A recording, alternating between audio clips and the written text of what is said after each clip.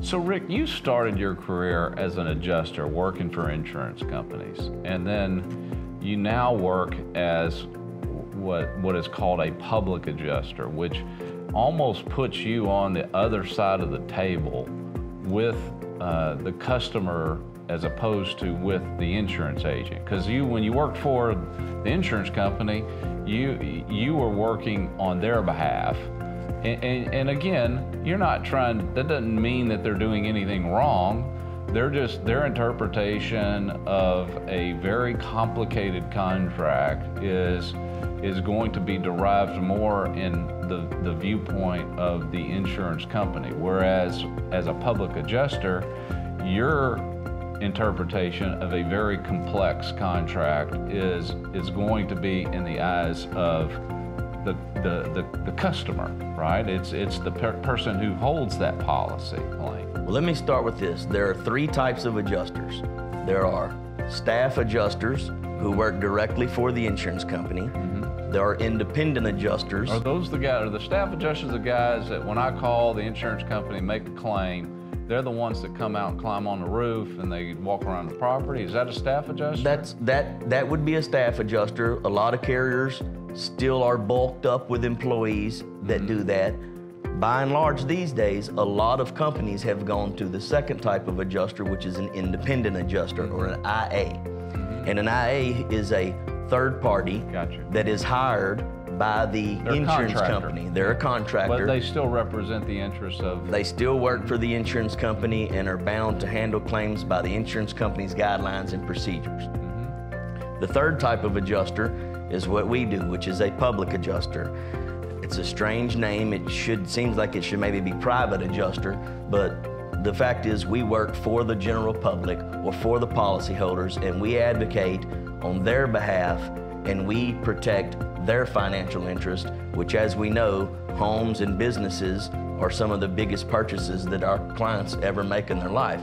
So it's important after they've suffered a loss that their property be repaired as it should be. And we serve as an expert source to review people's claims paperwork and ensure that they've been taken care of and paid everything and indemnified as they should be under the terms of the policy. And, and, and you know, here's what here's what I'd like to say. One, public adjusters don't work for free, and we'll, we'll talk about that in a second. But the other thing that I would say is, and I think you would agree with this, is if you have filed a claim and you have an adjuster come out and they make a, a, you know an assessment of the damage and and give you an offer uh, for settlement of those damages and you're happy with that, I think you would say in most instances you're not needed. We're not, and there are yeah. plenty of times that that happens that yeah. we're not needed, and I tell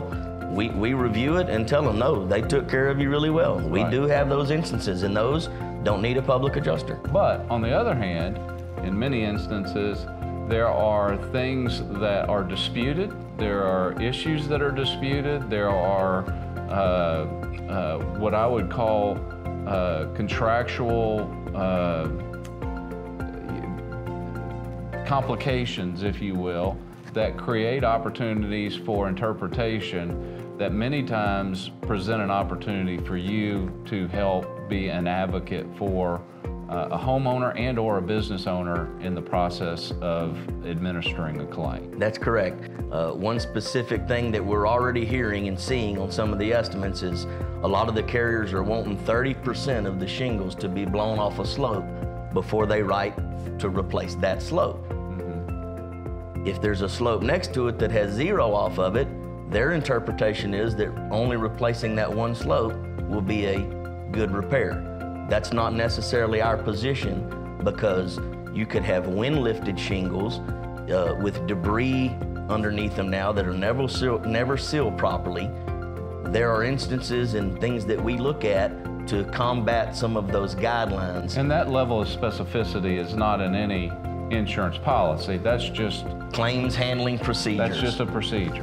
And that's where that's where you would present yourself as an opportunity. And and how are how is your company compensated for the work that you do on behalf of either a homeowner or a business owner? We're compensated through a contingency fee contract, mm-hmm. a small percentage of what's collected, or, or if we increase the settlement, a small percentage of the increase. The original money doesn't come into play when we come in after your property's already been inspected and estimated. As you know, there are several clients that we have though, uh, mostly commercial clients who have businesses to run and, and, and on top of personal dwellings, you know, to, to uh, employees and themselves have damage that they're trying to deal with. We can come in from the beginning and manage that entire process. In other words, we take that burden completely off, whether it be a school superintendent, a banker, right. a, a, pastor, right. whatever that may be. We take all of that burden because it's important to remember that in an insurance claim, it is the policyholder's burden of proof to prove the damages. It's not the carrier's responsibility. Mm-hmm. Yes, they come out and they identify what they see and they'll document accordingly. By the same token, the policyholder's the expert on their property. Yep. They know what was there, what wasn't there, etc. When the contractor actually starts the repairs, we can still go back or they can still go back and present additional damage found or if you have someone like us that comes and review the settlement we can advise on particular items that could have been missed yeah. and those are called supplemental damage claims there is a two-year statute of limitations on damage from an event and so back to the marathon sprint analogy it's okay to take your time it's okay if additional damage is found after the initial inspection. In fact, a lot of times it's expected that that's going to happen. You have to understand that these insurance companies, uh, they have thousands upon thousands of properties to inspect. As you might imagine, with the way economic times have been, uh, they're running lean operations these days. Mm-hmm. And so it takes time mm-hmm. to get them out. Uh, I have several claims that adjusters were at their house within a week. I have several claims who still haven't had an adjuster out. So it all is going to depend to the end that insurance companies are running leaner operations these days with less people, and that's due to technology uh, and just an evolvement of the insurance claims process. There are still adjusters that come out who simply aren't as seasoned or aren't as experienced as the next guy. And so there are things that are missed. Your contractor or a public adjuster or anyone you'd bring on to review that will be able to find those, we'll call them deficiencies, if that's a good term. Uh, your contractor's more is going to find additional damage that may have been hidden from view. And one thing the insurance companies preach, and I agree with this from my days on that side of it, is we don't want to guess.